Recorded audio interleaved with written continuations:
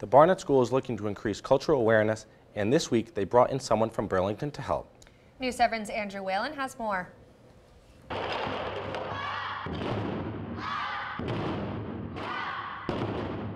doing a five-day taiko residency. I'm teaching taiko, Japanese drumming. Um, I'm using some Japanese pedagogy techniques, some of the Japanese teaching techniques that I experienced when I was growing up in Tokyo. Originally from Connecticut, Stuart Paton grew up in Tokyo where he started drumming in first grade.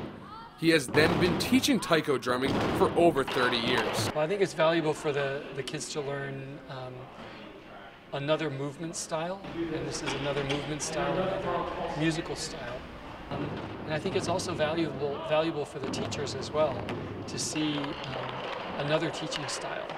And so some of the tricks that I use um, then get harvested by teachers of different schools and used in the classroom after I leave.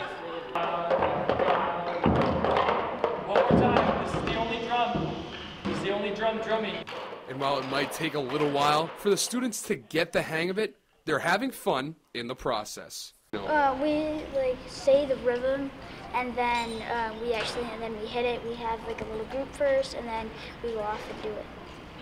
It's fun because we can like beat on the drums as hard as we can. He lets us do that. That's always fun. Stuart also said that after the week of instruction, he hopes the students walk away with a better understanding of Japanese culture and music. Andrew Whalen, News 7, Barnet. Not where you think it is, but where you would expect its comfort least. seems to lie before us like a land of dreams. Run in the woods or something. Hug on my mouth. My old suspicion. Coast, the light gleams.